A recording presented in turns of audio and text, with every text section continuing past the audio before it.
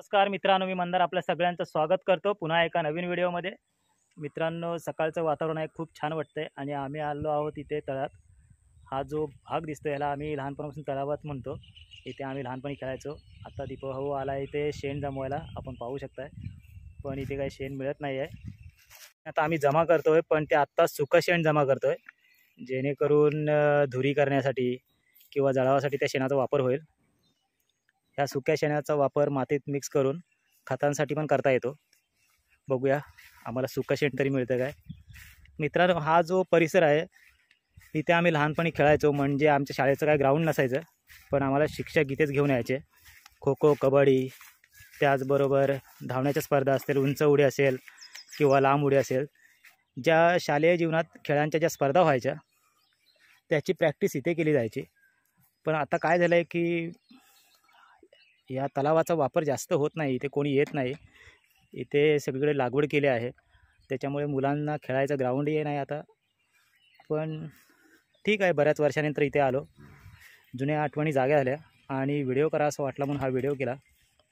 आपण पाहत आहे तिकडे तो शेण जमवतो आहे सुकं शेण ओलं शेण काही मिळालं नाही त्याला.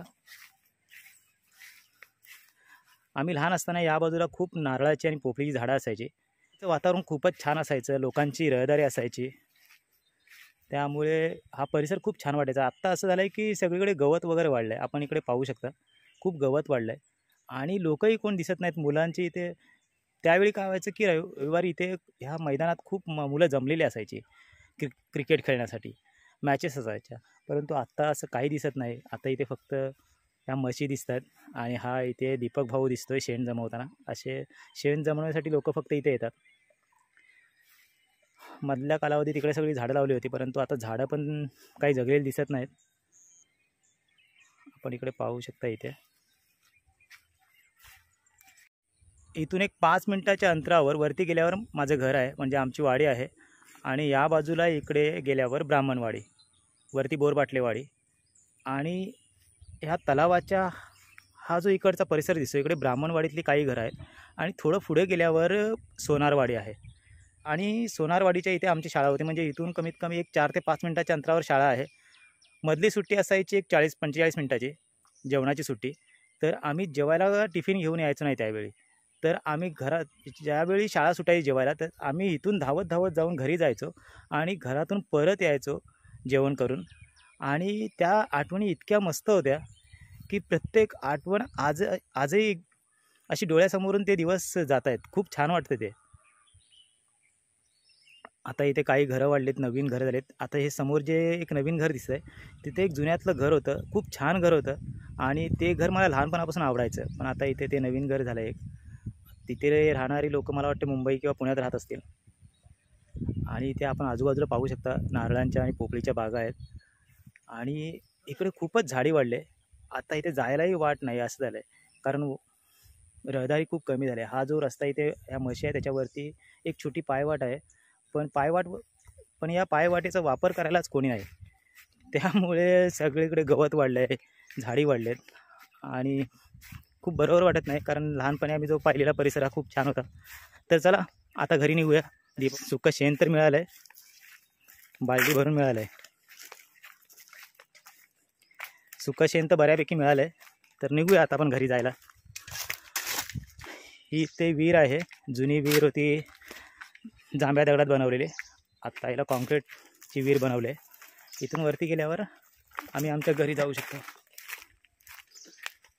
पूर्वी अशा प्रकारचं गवत इथे वाढलेलं नसायचं कारण रहदारी असायची.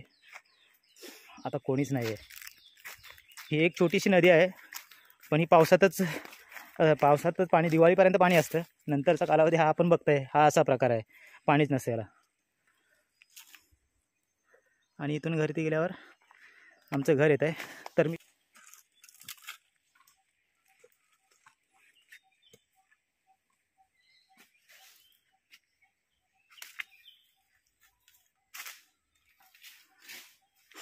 एक वीस पंचवीस वर्षापूर्वी बाग खूप छान होते.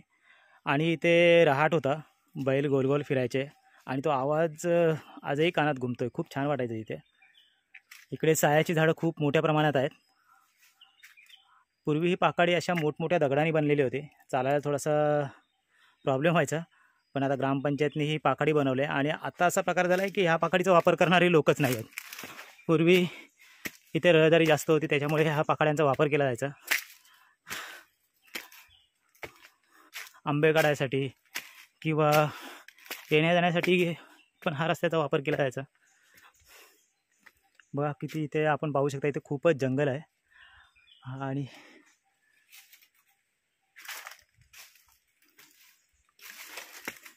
चालताना थोडासा दम लागला आहे त्यावेळी आम्ही इथून धावत धावत घरी जायचो.